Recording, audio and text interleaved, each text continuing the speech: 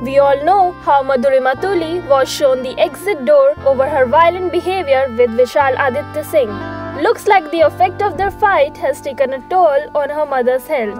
Reportedly, Madhurima's mother Vijaya Pant Tuli was recently rushed to hospital as she was unwell from few days. When a news portal reached out to her, the actor revealed, My mother almost suffered a brain hemorrhage two days back. She was getting fits. Her BP had shot up to 220. However, she was discharged the next day. Madhurima further stated, My constant fights with Vishal somewhere affected my mother's health. It was very scary.